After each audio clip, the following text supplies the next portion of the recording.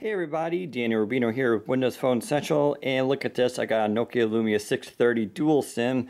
We'll be reviewing this device pretty shortly, but first I want to give you guys a first look here at Miracast support. Now many of you guys are running Windows Phone 8.1 preview for developers and you may have seen this project my screen in there, but you can't quite do Miracast. That's because it's dependent upon the Lumia Cyan firmware which will be coming with 8.1 when that update officially rolls out for your devices. Since the 630 is already selling, it comes with Cyan on board and we can now connect up to Miracast. So I got an Asus dongle connected up to my Samsung TV and there it goes. It just connected up. And it is very quick uh, much faster than running say Windows 8 on a Miracast connection since there's definitely a lot less stuff here going on. But as you can see slight delay but overall not too bad as far as responsiveness.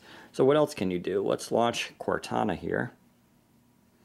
And as you can see it brings up everything now. Of course Cortana is regional dependent but watch this what is the weather like for tomorrow?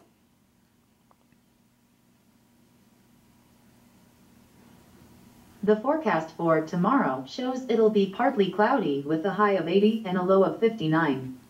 So if you're thinking to yourself, that audio sounded really good, that's because audio is routed through the Miracast system as you would expect. And in fact, when I hit the volume, you can see external screen there. So you actually get a separate volume control for that, which is pretty awesome.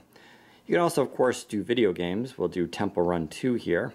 Now this will take a few seconds to load, so bear with me. This is a 1.2 gigahertz quad-core processor, but this game still takes a few seconds to load up.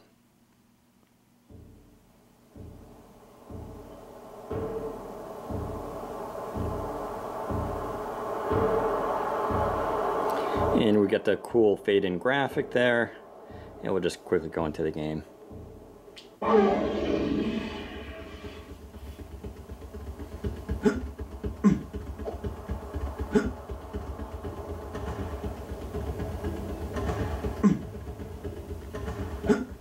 So as you can see, Temple Run plays pretty well, and if you're not trying to videotape yourself here, it's actually a pretty good game to play on your TV. What else can you do with this? Of course, you can view your photos. And you guys see everything loads up really quickly here. I think this is faster than the Play To system that many of us have probably already been using. And of course you can go and zoom in and do everything you want with this. So definitely a fun system to play with. You can do Skype on there as well, but your Skype calls will be routed through the earpiece here, not your TV speaker, so keep that in mind. Although I suppose if I put on speakerphone, it may do that. Actually, let me try that out real quickly. See if this can load up.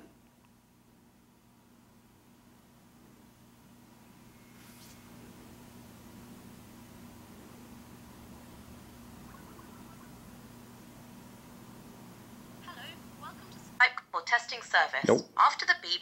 So it just goes through the telephone speakers. That's kind of interesting, although I suppose that's a Skype limitation. But there you go. There's a quick tour of Miracast for Windows Phone 8.1 on the Lumia 630. Like I said, a lot of Lumia devices and other Windows phones will be getting this when 8.1 rolls out and they get their corresponding firmware. But overall, a pretty cool option if you're into Miracast and want to project your stuff onto TV. Head to Windows Phone Central for more information. Take care, everybody.